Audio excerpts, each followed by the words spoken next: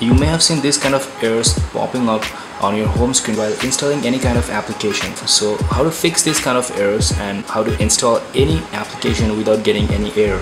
Hey what's up guys? Technow Review here and in this video I'm gonna show you how you can fix this kind of unable to download app error and how to install any application without having any kind of errors. So what you need to do now you'll hit done get into the settings scroll down until you get general date and time.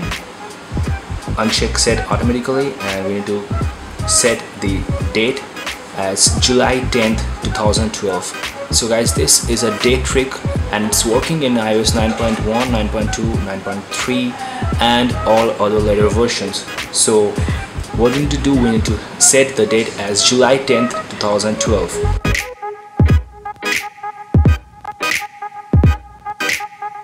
so here you can see we had set the date as July 10th 2012 make sure to use this particular date as it's the particular date trick which you need to use to install any application without getting any error.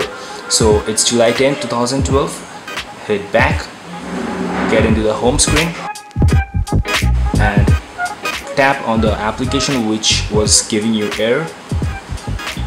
And it will retry the installing process and it will install the application without any further errors.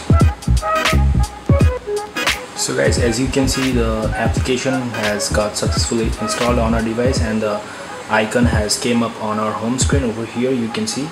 So now when the application has got installed so now first of all what you need to do you need to get into settings and make sure your date is restored back to set automatically.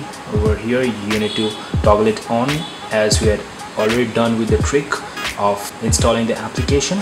And then we need to toggle this set automatically option as on as because if you don't toggle on this option then you might face some kind of problems with the network or any other stuffs like you may face errors on Safari web browser so make sure after installing the application you need to toggle the date back to the current date. This is the way how you can install any application which shows unable to download error. So guys that's all for this video and i hope this video will be help to those users having problems with installing any applications. So if you have any further problem then feel free to comment on the comment box down below and i'll be helping you guys in fixing problems with your applications that's all for this video.